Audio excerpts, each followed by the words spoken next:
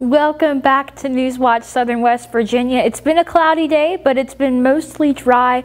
Those temperatures across our area are in the low 70s right now. We're already seeing some places in the upper 60s, such as Marlinton and Pocahontas County. A little bit cooler up there in those higher elevations. And for the rest of tonight, we're going to continue to see those clouds. Those clouds will move out of the way overnight tonight. And then we're going to be seeing the sunshine tomorrow morning. Those temperatures overnight tonight will get down into the low 60s by tomorrow morning, so it's going to be a chilly start for your Friday. We're seeing some isolated showers for the eastern half of the viewing area. The western half, they're staying dry. We're not seeing any isolated showers. So we're going to continue to see these make their way down to through the eastern half of our viewing area as the evening goes on. But after all that rain, we're seeing a lot of dry conditions behind that, and that's going to take over for Friday as a brief area of high pressure will take control.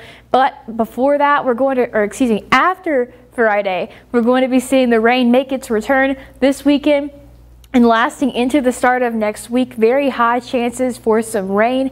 But then after Monday, we're going to be seeing that drying out for the rest of next week. Much lower rain chances by Wednesday and Thursday.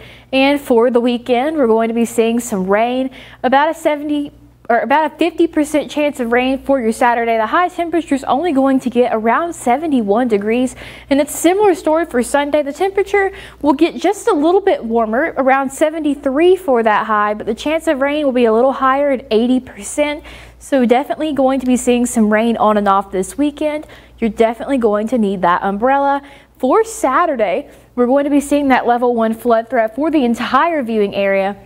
We are expecting some heavy rain to set up in some locations on Saturday, so we could be seeing some isolated flooding issues. Tomorrow night is another night of Friday night football. It's going to be cool during the game, only in the 60s. Around kickoff, it'll be in the upper 60s, those partly cloudy conditions through the game. We will be staying dry through the game, though, so you're not going to need that umbrella.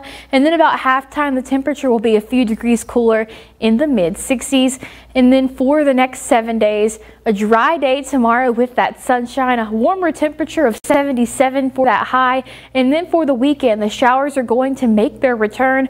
About a 50% chance on Saturday to 80% chance on Sunday. That's going to last into Monday as well before drier ending to the week next week. We're going to see that sunshine to end off this week and end off next week. Those temperatures over the next seven days are going to be staying rather low in the low 70s. Those overnight lows are going to be in the upper 50s to low 60s during those early morning hours. So you're going to need that jacket as you head out the door. We'll have more news and sports after the break.